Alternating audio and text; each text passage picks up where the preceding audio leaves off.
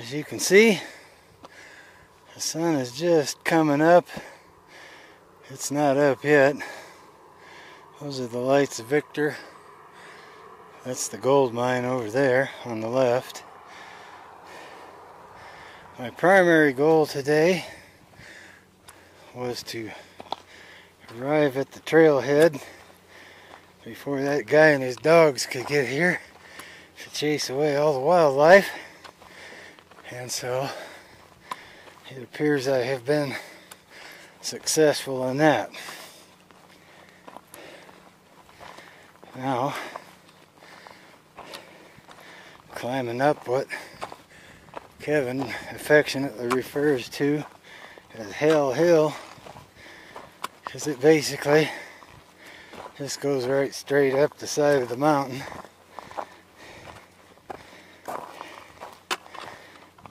I get to the top, sometimes I usually find some deer, some elk maybe. A couple of times I've seen a coyote hunting up there.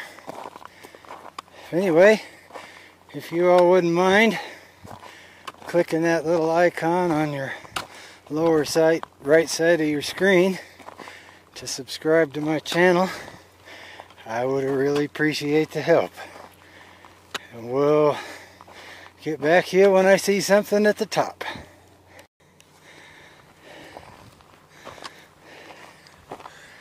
Alright, things are going pretty well. I'm almost to the top of Hell Hill before the sun has cleared the mountains in the east. And no sign of my nemesis yet.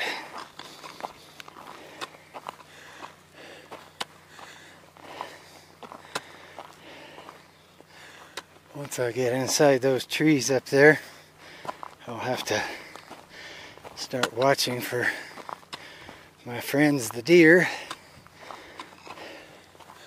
They often like to graze for grass in that forest.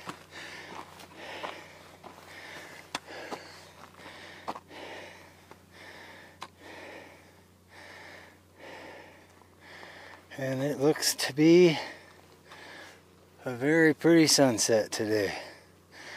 I'm glad to be out hiking today because tomorrow by this time it's supposed to be minus 9 degrees and snowing. So I don't think I'll be too interested in braving that.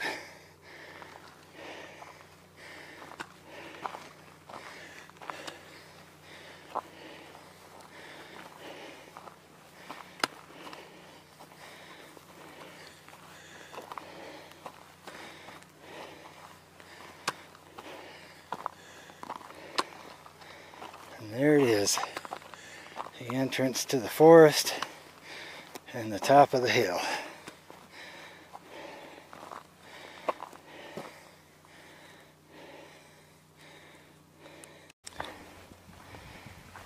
Alright, this is the summit. Unfortunately, there is no sign of wildlife today, but it looks like we are going to have an amazing scene on the Sangre de Cristos. We get up to the edge of the ridge there. I'll stop and take a break and get some still pictures. You can see that red band in the sky above the mountains. That's the alpenglow. It looks like it's going to be a pretty scene today. That alpenglow as the sun comes up that band of red across the sky on the other side, on the west side, comes down and then it will illuminate the mountains in that red color which is what gave the Sangre de Cristos their name, the blood of Christ.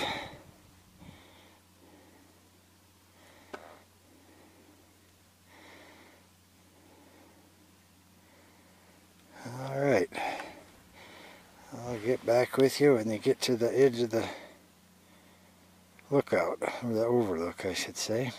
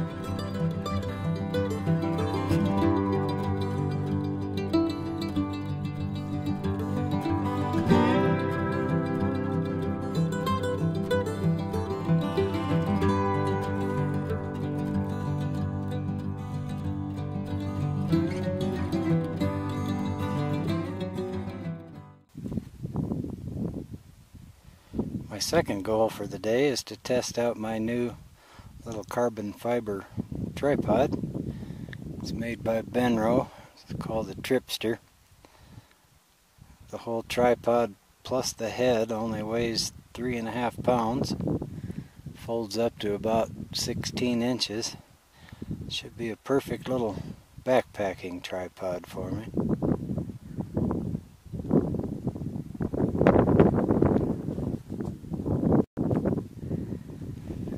There's the tripod on the pack. You can see how nicely that fits on there.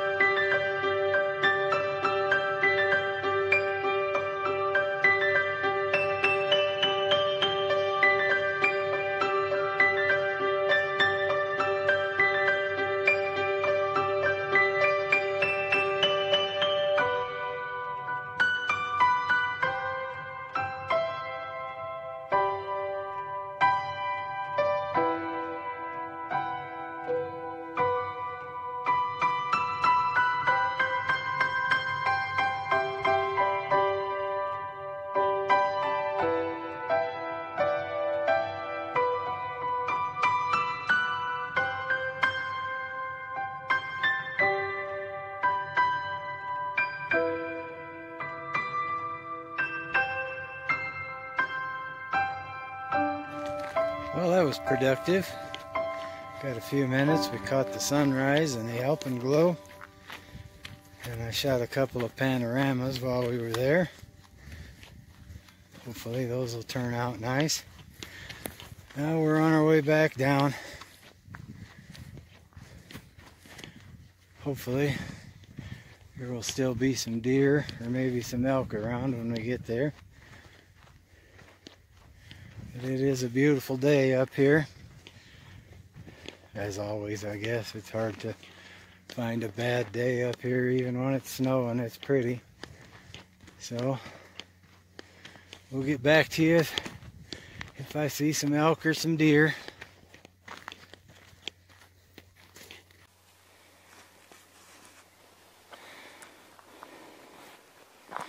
Wow, it is really hard to see how it's going to go from such a nice day to snowing and below zero in one day. Maybe they'll be wrong. They've been known to be wildly wrong with their forecasts up here in the mountains. I swear, right now it's got to be 25, 30 degrees, sun shining. It's amazing.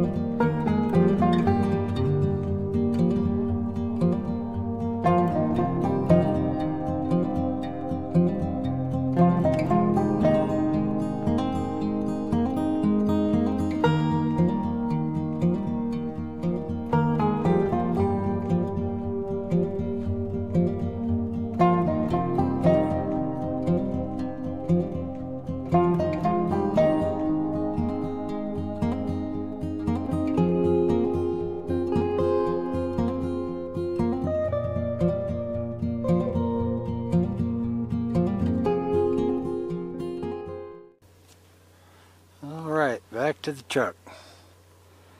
Some people have asked me why I strap my backpack in. That's precious cargo. My friend Kevin says that if your backpack's not worth more than your vehicle, then you're not living right. But I have had it take a tumble before, so I learned my lesson. Well, that's a wrap. Time to go into the Gold Camp Cafe. Have some coffee and biscuits and gravy. As long as we're here, might as well take a little look around Victor, Colorado. Historic Victor.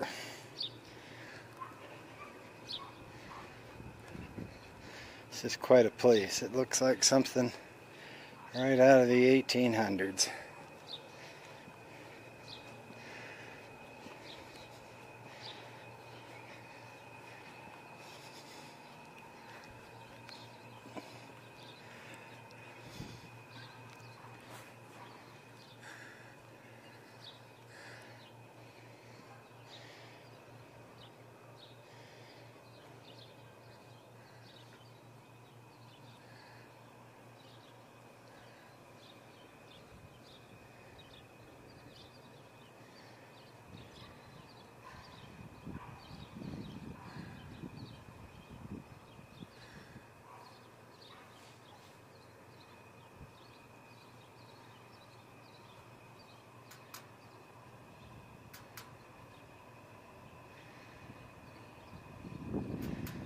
You still have the original billboards painted on the side of these old buildings.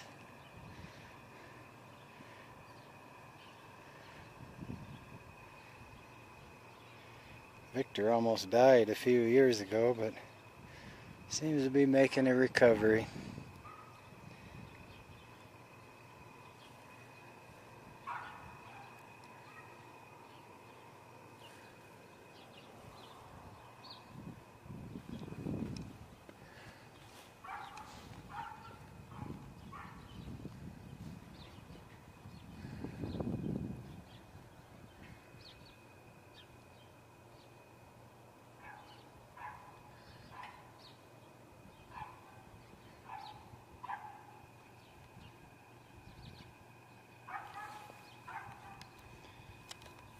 Unhappy dog over there.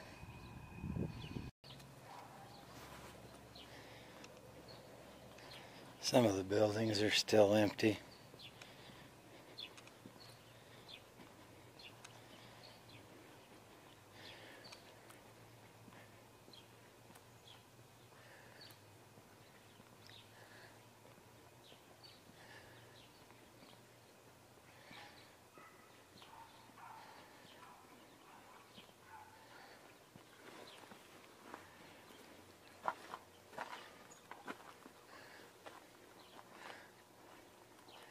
This is a little park with some neat old mining equipment.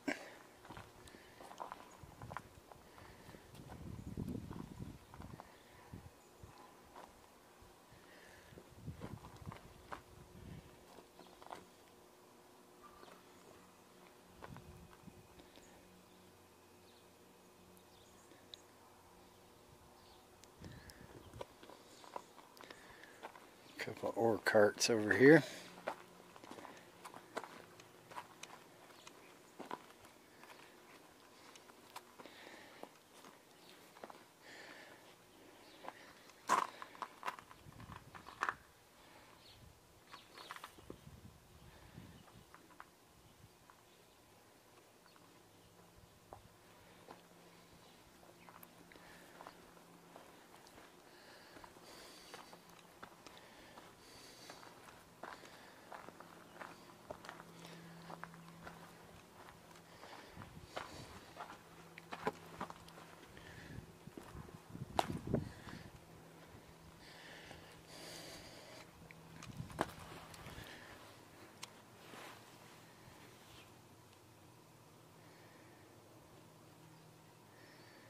There's the old historic mine up there.